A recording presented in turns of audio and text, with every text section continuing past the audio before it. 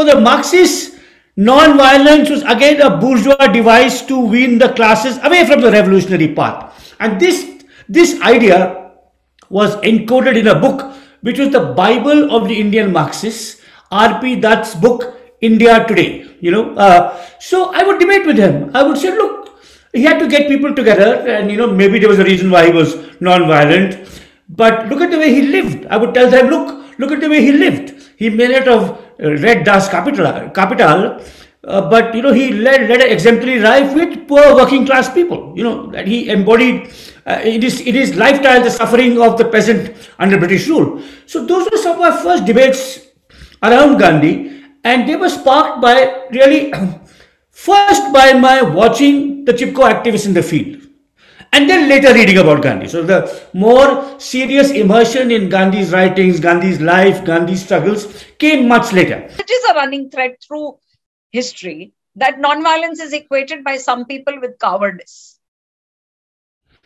I think it's a very masculine, macho point of view. Firstly, you know, you want to show your power by beating up on someone, right? I think it's also a very short sighted point of view. I mean, sustainable change requires institutional change. It requires new laws, new institutions, new practices, and all this can only be achieved through non-violence. I mean, the Bose and Gandhi had some genuine philosophical differences. Bose was not committed to non-violence and had never been. As early as the late 1920s, he is telling Gandhi that we need a more militant, aggressive approach to British colonial rule.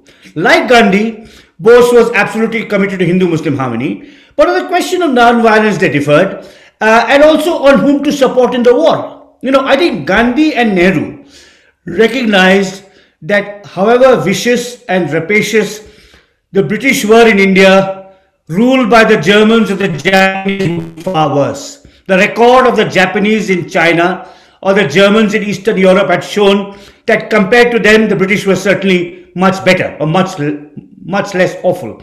Whereas Bose was willing to ally with Hitler, which I think was a tragic error of judgment. But what's interesting is that Bose continued to admire Gandhi. I mean, in 1943, when Bose was with the Indian National Army, and he gave a talk on Azad Hind radio on 2nd October 1943, Gandhiji's birthday. That's the first known occasion on which anyone called Gandhi father of the nation, and that's Bose.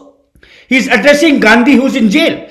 Gandhi is uh, in Aga Khan Palace in Pune as a result of the Quit India movement. Here is Bose in Southeast Asia speaking on Azad Hind radio saying, Father of the nation, on your birthday we, did we rededicate ourselves to the fight for freedom which you began 20 years ago. Uh, it is true, uh, we're not even sure whether non-violence would have succeeded against the French.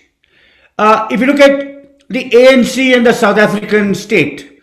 The ANC was inspired by Gandhi from the time it was set up in 1912 till 1960 when it formally abandoned non-violence as its credo. Now, what was interesting about the ANC is that even when they adopted violence, it was selective violence against state targets. It was not kind of indiscriminate violence, violence, killing every white in South Africa. You know, not that.